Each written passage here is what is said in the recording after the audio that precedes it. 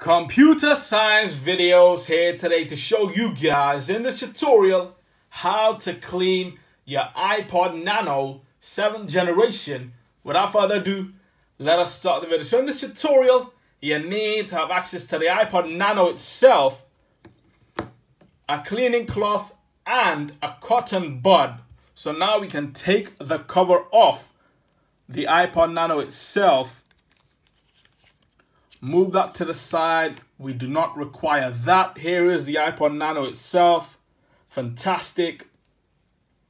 To clean the screen, we need the cloth itself. A nice scrub. And now we can see the screen has been cleaned to perfection. The headphone jack needs a bit of a clean so we can insert the cotton bud inside. One, two, three. And now we can see all the dirt has come out.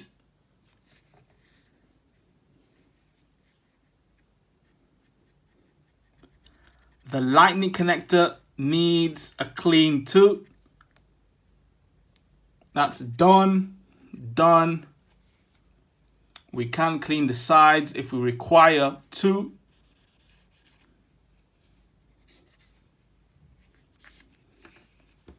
The back needs a clean.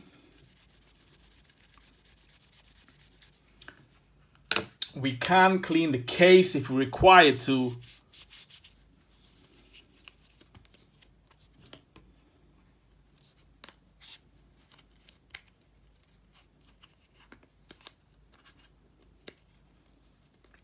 Put the iPod Nano 7th generation back into the case. Good as new. That's it for this video. I'll see you guys in my next tutorial. Thanks for now.